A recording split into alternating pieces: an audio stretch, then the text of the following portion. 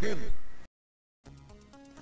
Before Injustice, Tekken, Smash Brothers, Mortal Kombat, or even Street Fighter, there was another game that let you digitally beat up your friends in a button mashing melee, and that game is Karate Champ. I absolutely love retro gaming and old technology. I'm a child of the 80s, so consider this episode as our version of a Throwback Thursday. I thought it'd be fun to take a quick trip down memory lane and remember this little gem.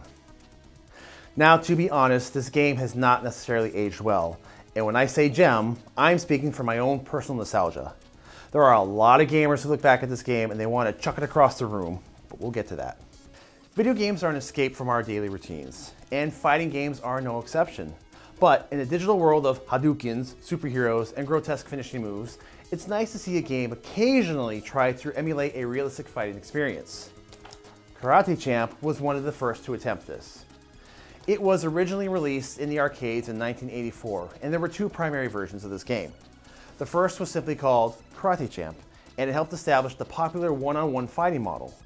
Players controlled their karateka in a white gi, and they battled against a computer opponent in a red gi. Now, this game was really simple, but it wasn't easy. The whole concept is to execute karate moves and score two points before your opponent does. Some moves are worth a half a point, while others a first point. If you scored two points before the computer did, you won the match and you moved on to the next round, which was the same thing but set against a different background. If you lost, the game was over, and that was it. You had to start over again. Now, there are also bonus stages in between matches where flower vases are thrown at you. God, I hate when that happens. Your objective is to either smash or dodge them.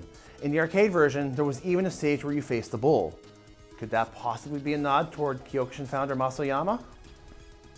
Now, shortly after the release of this game was a second version called Karate Champ Player vs. Player, which was basically the same game, but it allowed two people to play simultaneously.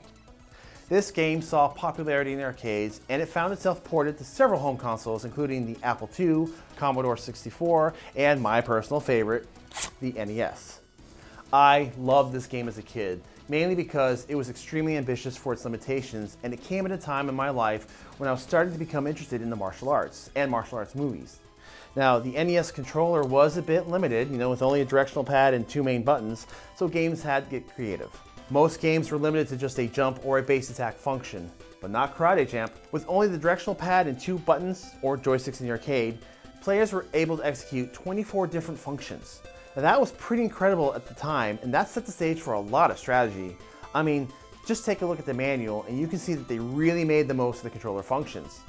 And most of the moves were basic karate moves. No throwing spears, teleporting, or ice balls, but front kicks, reverse punches, and sweeps. So why do some people like to dump on this game? I mean, the concept was so great, so what's not to love about a fighting game that lets you do 24 maneuvers with only two buttons? Mainly the fact that you have 24 moves and only two buttons! The main problem with this game comes down to play control. It's a little complicated and it's not quite as responsive as one would hope. There's a slight delay and the timing takes a little bit to get used to. Now, I can only speak for the NES version. I never played the arcade, but here's where I struggled with it the most. It's actually really 10 strikes and four directional segments, forward, back, jump, and duck. So that's 14. So how do we get to 24? Well, that's because if you get on the other side of your opponent, you'll be facing away from them and completely vulnerable until you do a jumping back kick and switch directions. When you switch directions, you're facing the other way, which means all those 10 strikes now operate with a reverse button sequence. So to do a front kick facing the right, you would press the directional pad to the right and the A button.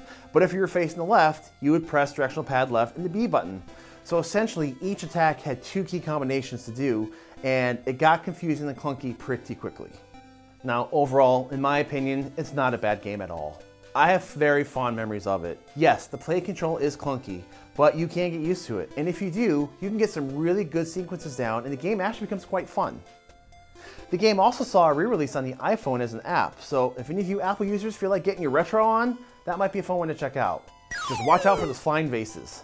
So that's it for today. Thank you so much for taking a moment to geek out with me and taking a look at some martial arts video game history. And for those of you who also appreciate vintage technology, I just want to say as a disclaimer that this is not an artificial VHS filter look. No, this episode has been brought to you today via an authentic, bona fide, and somehow still working VHS camera. So thanks for watching. Please like, subscribe, and let me know in the comments if you have any memories playing this or any other martial arts game.